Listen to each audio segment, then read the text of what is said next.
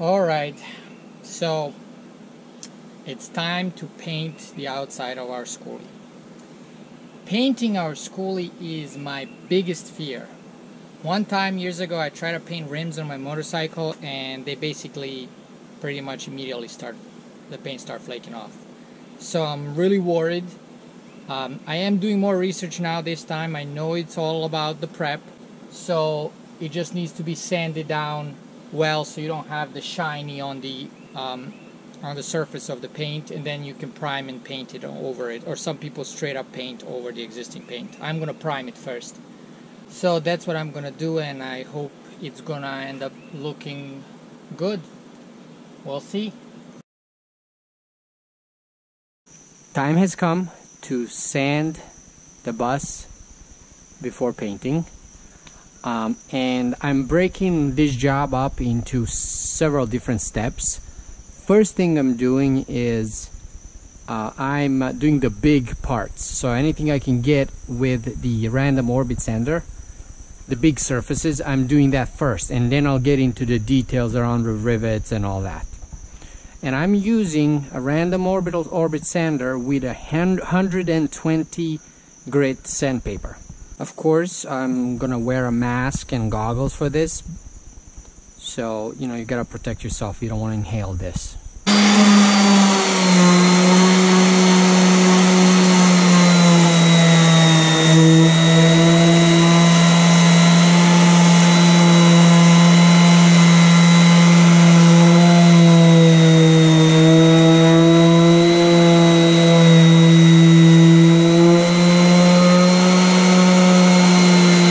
is where the reflective tape was um, that I removed and I'm I'm gonna I recorded that and I'll post that separately.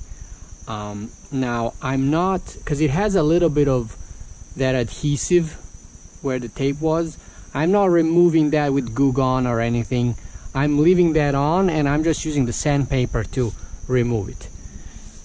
And the goal is to get it to be not shiny to be to get it to get it to be dull color uh, so the paint can stick to it. Or the primer. I'm gonna put a primer first and then paint.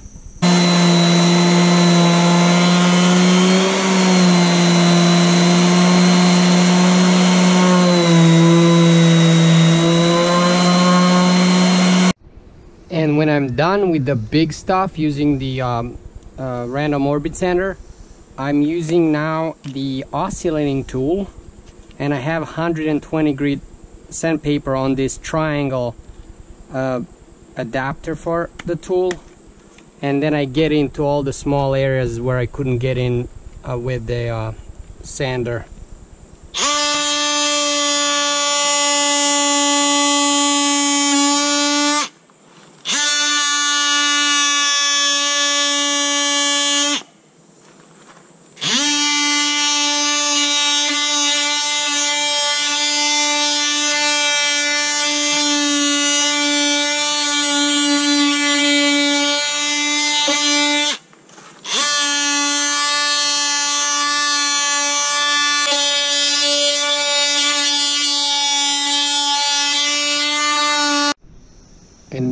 have the Scotch-Brite pad. This one is the maroon color. Different colors have different grit basically. So you can use that also to get into all the other parts you can reach with the other sanders.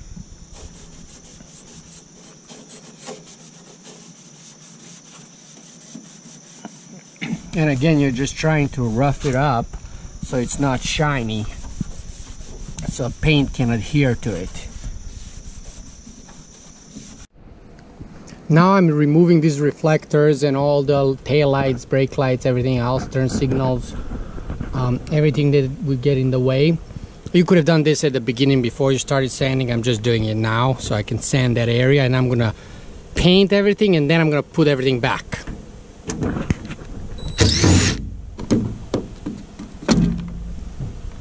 I want to show you what I've done when it comes to sanding. Um, sanded it all around 120 grit sandpaper as I, as I mentioned um, and then also the uh, Scotch-Brite pad um, and I even took out these latches over here and sanded over there Um, I sand it around here. Um, try to take everything off. There's another latch I need to sand that down. Here I can't take this lock off. Uh, it's it's uh, rusted on the inside, so I might cut it out. There's turn signals here, latches over here. Take all that out. I even took out that sign here, international sign, although the logo, emblem or whatever. Um, these latches light there. You could take the um, turn sig uh, the um, wipers, windshield wipers, but it's like a whole complex thing here. I don't I don't think I'm gonna do it. I'm just gonna tape it all off around there. Uh, I gotta take the uh, rear view mirrors, um, but I need them so I can back out of here and park it where the paint job is gonna be um, down the driveway. Um, I gotta sand. I did some body filler. I forgot to sand it there. Um, I'll do that. So over here as well, took out these latches, and so the paint is there, and I can re-add them back. Do it nicely. Uh, all those reflectors I took out. There was a reflector right here. Took all that out. There's there's a door stop over here, and then another door latch hook thingy. Um, so I took that out this is going to be a storage I'm going to have a storage box there so that's going to be all cut out really but I just removed this bottom rub rail um, because the storage box this box is only coming up to here and I needed this to, to paint it um, yeah I covered up these these lights over here in the back the holes with with some um, tape here temporarily because of the rain if it rains, but it shouldn't be raining in the next few days while I'm painting. Up there, all those uh, lights that are turned into turn signals and brake lights, tail lights, I removed that and sanded all that around. Some Somewhere I had to get down to metal. Um, and there's a body filler work I need to finish here. Uh, but I'm gonna prime everything. So um, then, you know, and then paint it. And over here, that was a, a, a rubber kind of seal thingy that goes around. I remove that so I can paint there and I'll put it back. I might even remove also this rubber gasket here, this for the door, so it can be painted over here, you see. And then I can put that back. So yeah, lots of sanding, lots of sanding, but I think I'm done so we'll see how it goes I also removed the covers for these lights up front and I sanded it a little bit around so I'm gonna paint in there as well. I'll mask the actual lights. Now it's time to pressure wash the bus. Be uh, I'm gonna be using first the Krud Kutter Vehicle and Boat Pressure Washer Concentrate. Uh, this pressure washer you can just put this tube in the bottle and it will suck this, the soap in and mix it with water and soap the bus. Um, I'm but before I do that I'm gonna wet the ground all around the bus uh, so the dust doesn't get picked up and you know get back on the bus. It'll help out with that.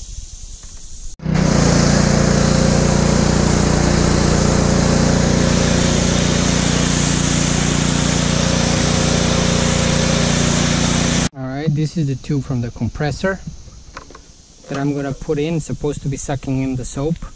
Of course if you don't have this um, not compressor this is pressure washer.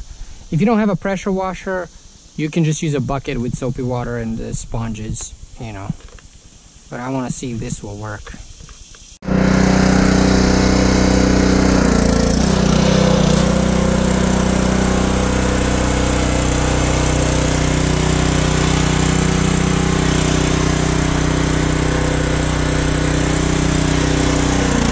Now that I finished soaping the bus, um, I'm switching to uh, no soap and I'm putting a 25 degree nozzle. Uh, and I'm gonna really start from the top down, really getting close into it to wash uh, any, any dirt or any little specks of stuff um, that might be sticking still on the on the bus.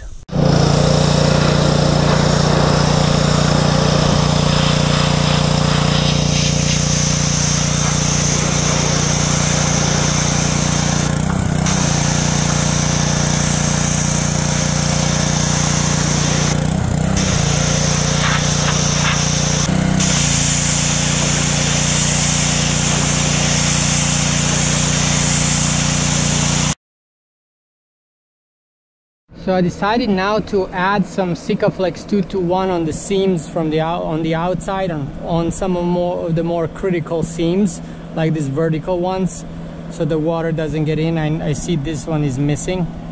Um, I did I did it before right here but I stopped up to here. So I need to redo this uh, do this one. And I cut the tip really small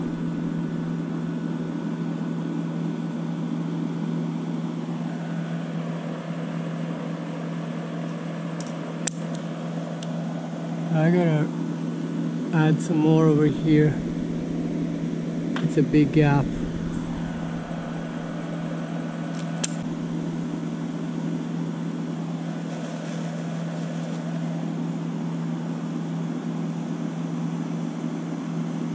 Sikaflex 221 is paintable.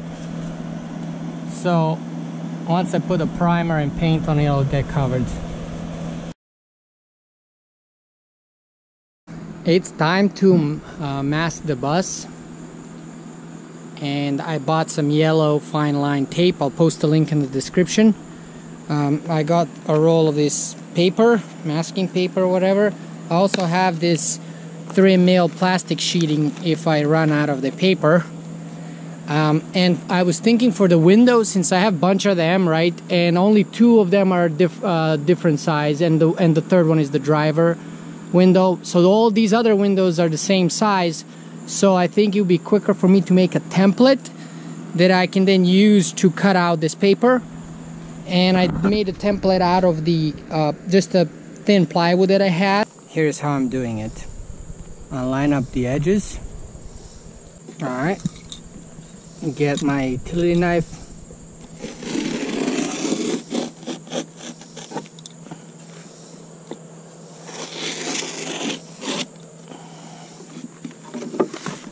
done. Now I come up here to the window and uh, try to line it all up so it's evenly distanced from all sides. It's about this. I get a little piece first just to uh, stick it on to hold it. I should probably add little pieces in all four corners first yeah. This way you can stretch it out before you apply the long pieces. That's better.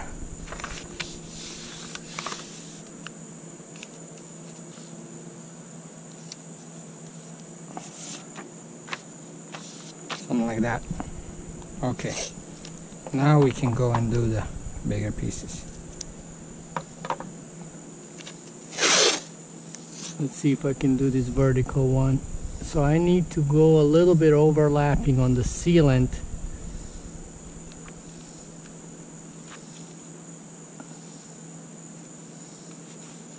A little bit there. In the corner. Here it is. That's pretty good huh? not bad I think. We'll see how it turns out so I had to add another piece of tape where the bottom piece of the window meets the the top piece of the window meets the bottom piece because the bottom piece is more indented, more in, inward. So there is a big gap there and a step so the tape wasn't grabbing onto the paper well and so I had to add another one like this because there was a hole there basically for this window here on the emergency door side emergency door I'm going to double tape it. So I will first just use the tape all around get it nicely taped off and then I'll add the paper and tape the paper on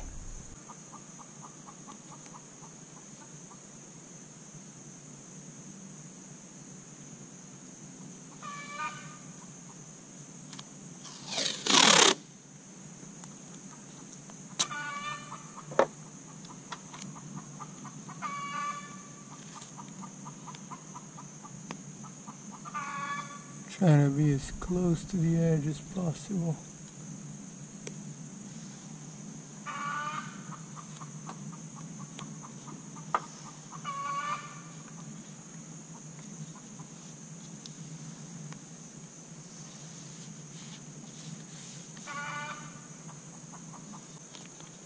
This is going to be interesting here on the corner.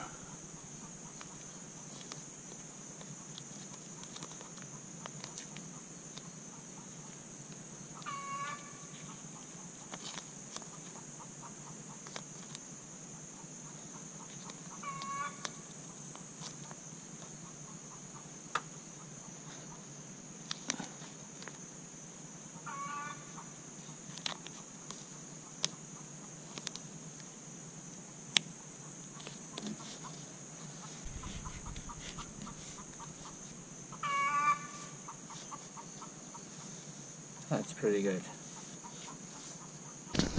This part is done, but what I'm gonna do is I'm gonna add another layer of tape here. So when I'm putting paper, I just have to put paper on a flat piece of surface on the glass instead of trying to tape it to this curvature here to this uneven surface.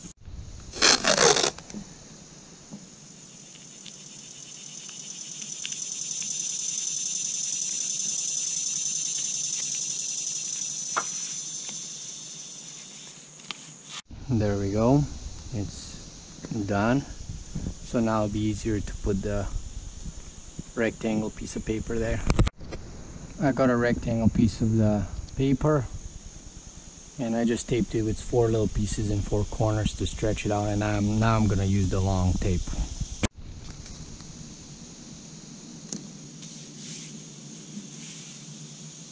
There we go. Now it is done. Now I'm gonna tape the latch holes.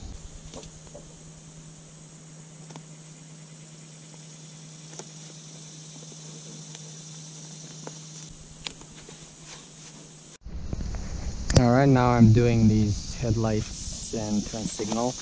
And I'm wrapping the turn signal bulb around this paper because I don't want the tape directly on the bulb. I don't know if it's gonna do something bad to it or it gets sticky on it.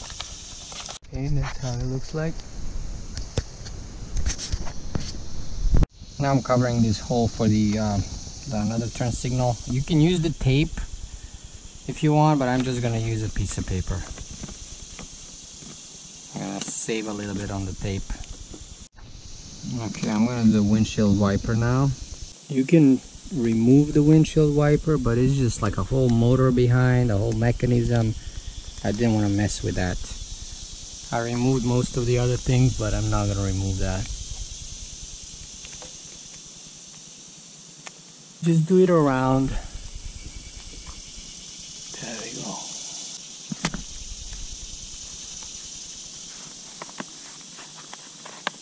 Okay, so now I want to mask the top of the bus. This is where the original paint was coming to, but I'm going to push it up seven inches. So I made a template this is from a cardboard box uh, from pull-ups, my son's pull-ups.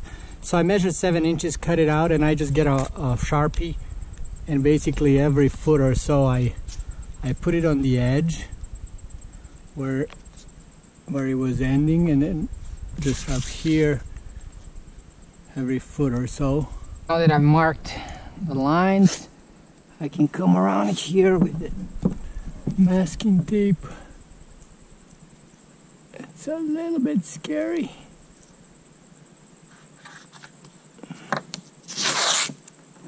Okay.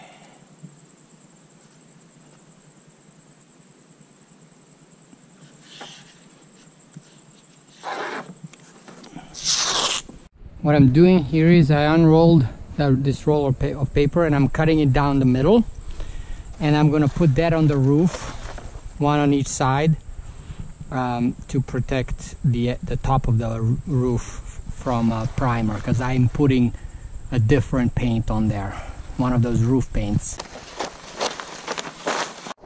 I'm rolling it back there we go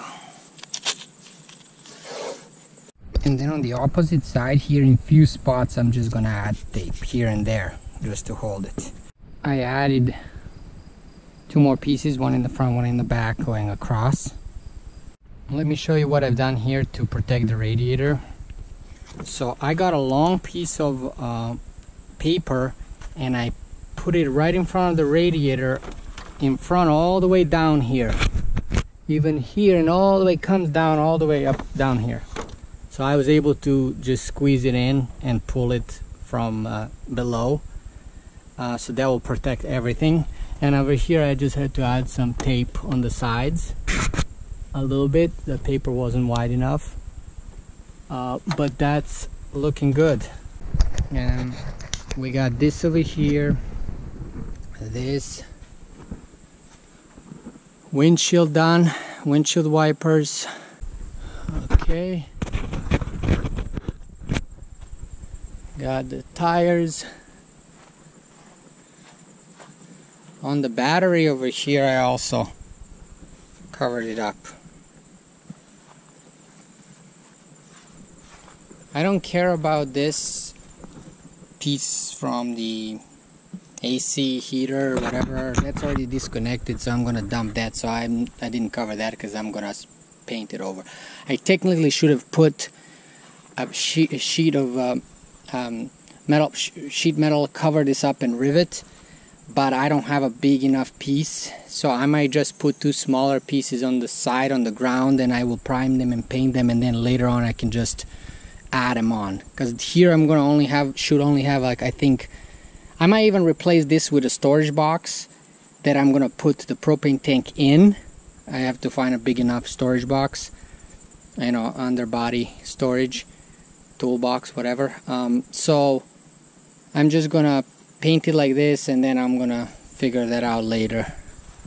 I have to I have to paint the bus. On from the inside I taped um, a tape or paper. Over here I put some but I also have from the inside. I gotta take this off because it's overlapping a little bit. I don't want it. Okay. So that's tape from the inside. Same thing above exhaust also taped. Um, let's see over here. We got that window. And then I have to cover up this tire. And I got windows here and this door. And a little window on the side. So over here where the fuel tank is and I just cover that up. I didn't cover this up because I don't care about this. That's an emergency door operation so that's not even working and I'm gonna take all that out and make some extra storage there. But yeah. I think and at the top as well um, I already showed that now what I'm doing is I'm wiping down the um, the bus to clean it final cleaning. Um, most people use acetone and I would have used that but I already had a jug of isopropyl alcohol 70% so I just want to use that instead of the acetone but you can use acetone. Gotta wipe it down get all the dust and stuff off that accumulated after the pressure washing